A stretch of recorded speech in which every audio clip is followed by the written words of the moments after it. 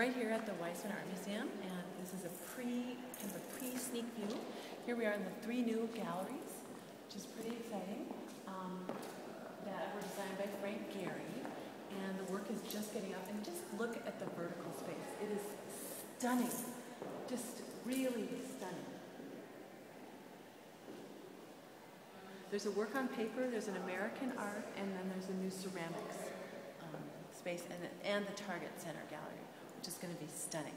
I hope you'll join us. The, the official opening is October 1st at the Weisman Art Museum.